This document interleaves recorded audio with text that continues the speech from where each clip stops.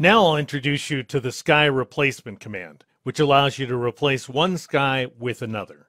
Now, first thing I need to do is go over here to the layers panel and click on the background item. And that's because this command only works with either pixel based images or smart objects. Next, what you want to do is go up to the edit menu and choose this command right here, sky replacement, which is going to bring up this dialog box. Now you want to make sure the preview checkbox is turned on so you can see what you're doing. And notice right away, Photoshop goes ahead and replaces the old blue sky with this more dramatic sunset. Now, if you want to switch to a different sky, then you just click on this big sky thumbnail right here and notice, at least as things stand now, that we have nearly 30 different skies to choose from. So I could switch from this guy to another one, in this case by Russell Brown, and we'll end up with these joyful children set against this dangerous stormy sky. I'm going to go ahead and scroll up a little. We've got this sunset, incidentally, by Julieanne Kost. However, the one I'm looking for is this guy right here.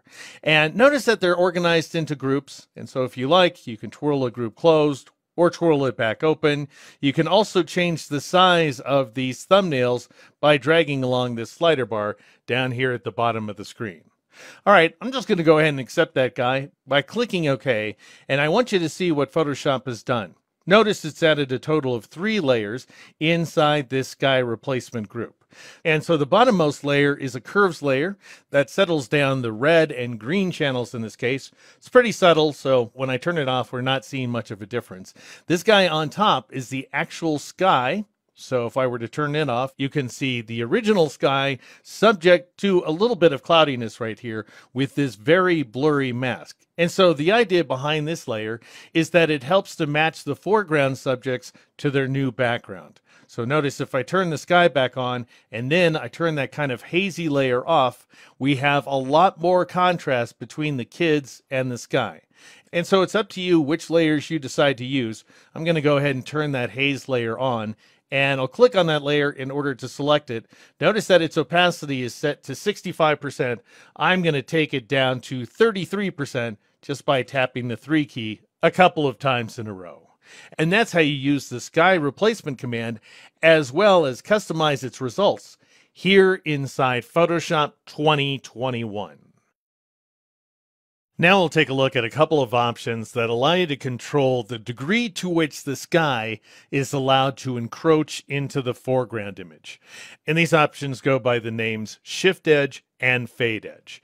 And so here we have another photograph from the Dreamstime image library featuring a more complex sky with a wider variety of colors and a lot of blues inside the foreground image.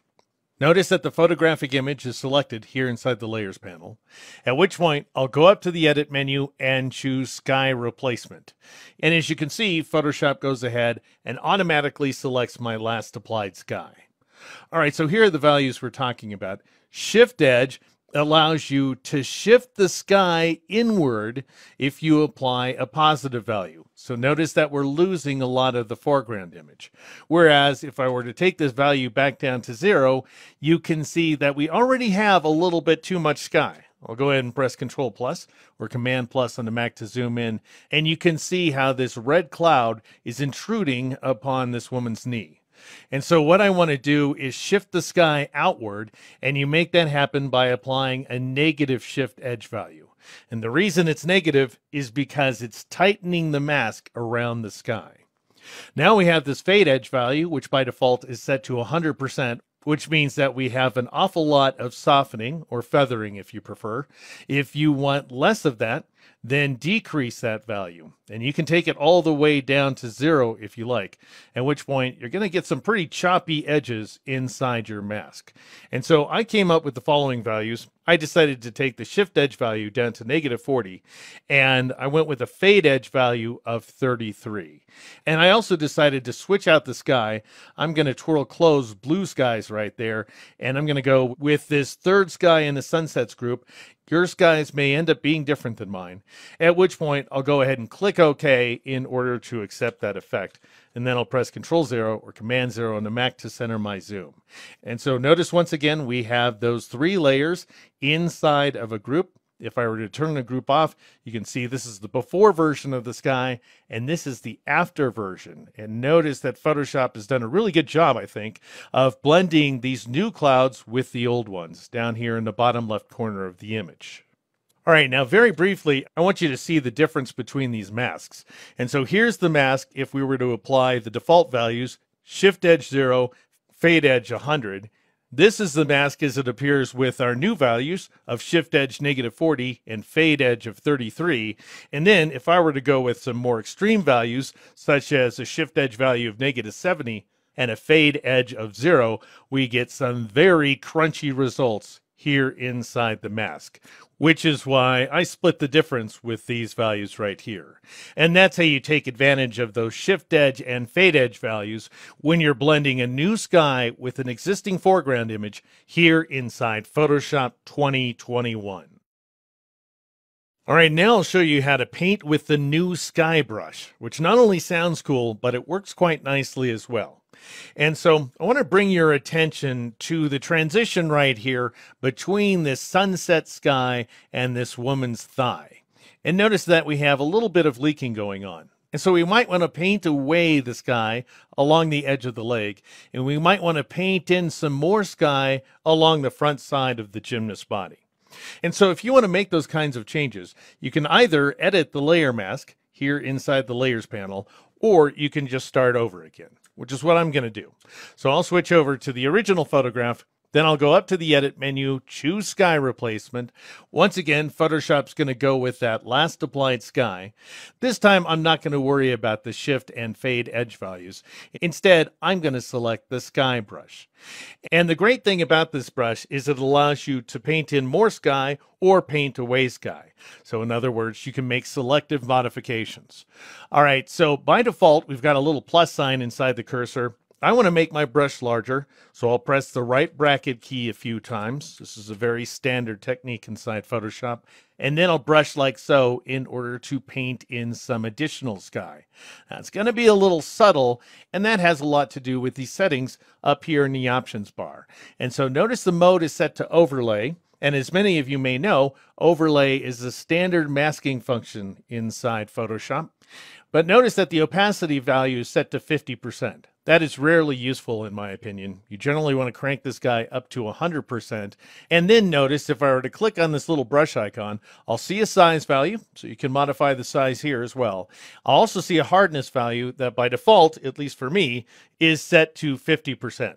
I'm going to go ahead and take that guy down to 0% so that we have very soft edges. And then I'll go ahead and paint in some more. And you can see now I am making less subtle modifications and bringing back more more of that new sky. Now, if you want to paint away the sky, then you can either switch to this minus sign up here in the options bar, or you can just press and hold the Alt key, at which point that little plus inside the brush will change to a minus. So that's a function of pressing the Alt key here on the PC or the Option key on the Mac, and then brush in order to bring back some of the foreground like so. Now, if you're bringing back too much of the foreground, notice we have a bit of a harsh edge right there, then what you might want to do is change the mode from overlay to soft light, and that will give you a more subtle effect. And now notice if I paint that sky back in, I get a softer transition. At which point, I'll go ahead and click OK to accept that change. And that's how you work with the new SkyBrush when applying the Sky Replacement command here inside Photoshop 2021. Now we'll take a look at a group of options known as the sky adjustments, which allow you to change the brightness, color balance, and size of the sky. All right, so here we are looking at the original photograph. I'll go up to the edit menu and choose sky replacement in order to bring up that sky replacement dialog box complete with that last applied sky. And I'll go ahead and take the shift edge value down to negative 40. And this time around, I'll set the fade edge value to 50, let's say. And now notice this group of options right here, sky adjustments. You could twirl them closed if you like, or reveal those options like so. And every one of these settings affects the sky itself. So notice if I were to crank the brightness value up, I will make the sky brighter. Looks pretty cheesy in the case of this image, but what's happening is that Photoshop is going to apply a brightness contrast adjustment layer. And so what I really want to do is reduce the brightness value. And so I'll take it down to negative 50. Then we have this fairly clunky temperature option right here. It's not nearly as capable as the temperature setting inside Camera Raw for example. But if you like, you can make the image warmer, really more yellow, or you can cool it down, which is really going to make it bluer.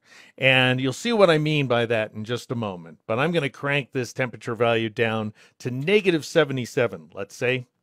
Now skip down to this flip checkbox right here, which allows you to flip the sky horizontally. You can't flip it vertically, but why would you want to? And then finally, we have the scale setting. Now, I recommend against reducing the scale value because that's going to reduce the size of the rectangular sky. And in our case, it's going to reveal a bunch of foreground details down here at the bottom. So instead, I'll crank that value up, let's say to 150%. And then finally, notice that by default, over here in the top left corner of the dialog box, we have the Sky Move tool. So we've got Sky Move, then we've got Sky Brush, as we saw in the previous movie, and the hand and the zoom tools. But assuming that the Sky Move tool is selected, then you can just drag the sky around here inside the image window. After which point, you can go ahead and click OK to accept that change. Now, here are those adjustment layers I was mentioning. Up at the top, we've got a brightness contrast layer. And so if I double click on this thumbnail, you can see that Photoshop has reduced the brightness value to negative 50, which is exactly the same value I applied inside the sky replacement dialog box. Next, we've got this color balance layer. Color balance adjustments are pretty clunky, as you may be aware. And so, what we've done by taking the temperature value down to negative 77 is we've reduced the cyan red value to negative 19. So, in other words, we're scooting things more towards cyan. And I've bumped the yellow blue value up to plus 38. I haven't done anything to the magenta green value, which you could argue affects the tint. And so, if you like, you could warm up that sky ever so slightly by reducing this value to negative 18, which is tilting the sky away from green and toward magenta. And that's how you take advantage of the various sky adjustments, which allow you to change the brightness, color balance, and scale of your new sky.